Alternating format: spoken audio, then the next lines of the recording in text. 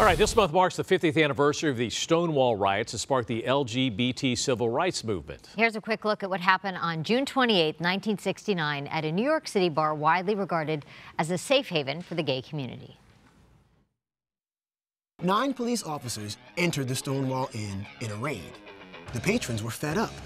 As the police roughly tried to arrest bartenders and customers, many resisted. Outside the bar, people in the hundreds began rioting. They threw bottles at the police and pushed through the barricades. The police officers retreated from the crowd and locked themselves inside the Stonewall Inn. Rioters responded by setting the bar on fire. Police reinforcement arrived.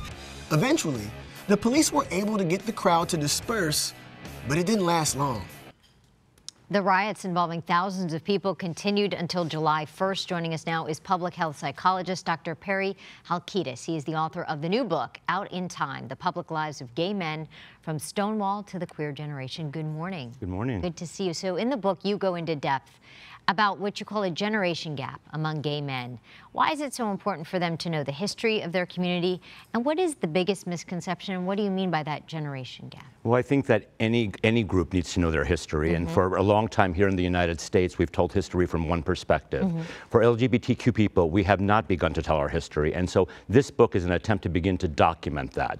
And for younger folks, you folks in their 20s, where 1969 seems, you know, many, many, many years ago that they don't remember, tapping into the resilience and the power of that group of people in 1969 gives an impetus to a new generation to continue to work hard for their rights.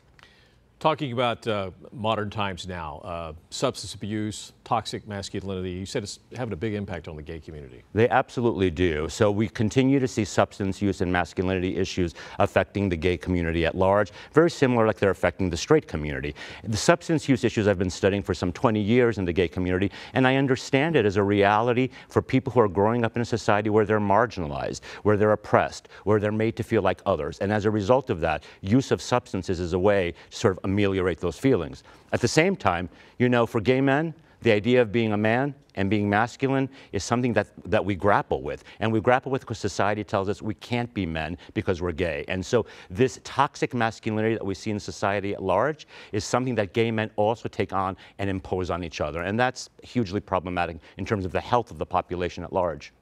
The Stonewall riots happened one year after the assassination of Dr. Martin Luther King Jr. Many assumed at the time the gay rights movement was racially inclusive. So tell us about racism among the gay population today? I often say to my students, I often say to my colleagues, why would we think that the gay community is any different from society at large in terms of its racism? And so we continue to see within the gay community at large mm -hmm. um, this you know, objectification that goes on along race, this segregation that goes on along lines of race. And what has for too long been the centerpiece and the model for the gay community is the white, over chiseled, hypermasculine man. And we need to debunk that and recognize that, you know, the brown and the black stripe and the rainbow flag are just as important as every other part of the rainbow. Uh, Gay Pride weekend coming up in West yes. Hollywood. It's uh, right around the corner. What, what do you want people to get out of that? What I want people to know that is absolutely, it's fine, it's a time for celebration, but that's just one image of gay life in the United States.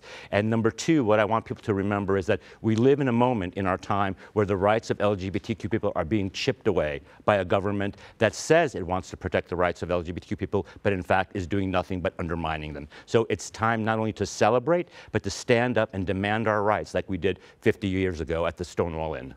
Dr. Perry Halkitis is an author, psychologist, dean, and professor at the School of Public Health at Rutgers University. For more information about his book, Out in Time, you can go to his website and follow him on social media. Thank you for being here.